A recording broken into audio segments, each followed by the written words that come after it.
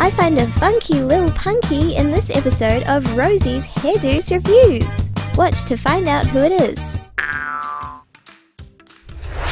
Hey, I'm Rosie, and we're unboxing some more of the Hairdooz bottles, which is very, very exciting.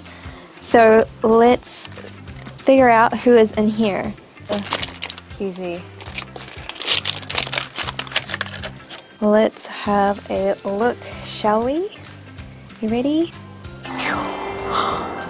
What? She's got glasses on.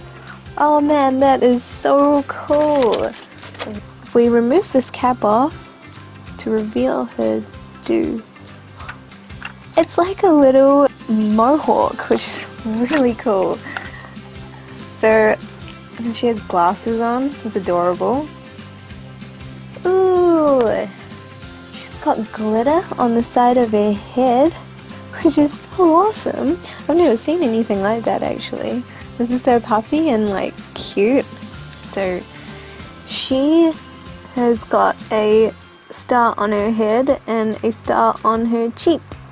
So let's see who she is from the collector's guide. There she is. She's Sparkle. Oh, that makes sense because she's got the sparkly head, which is really neat. She's got pretty eyes. Look at the different colors in her hair. Rainbow, so she's got blue and pink and yellow. Man, awesome.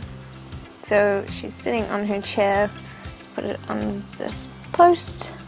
Oh, and actually, I just realized you can match the color to find, like the color of the chair and the color of her eyes. So her eyes and the chair match, and so does her little cutie spot on her face. She's the Rainbow Modu.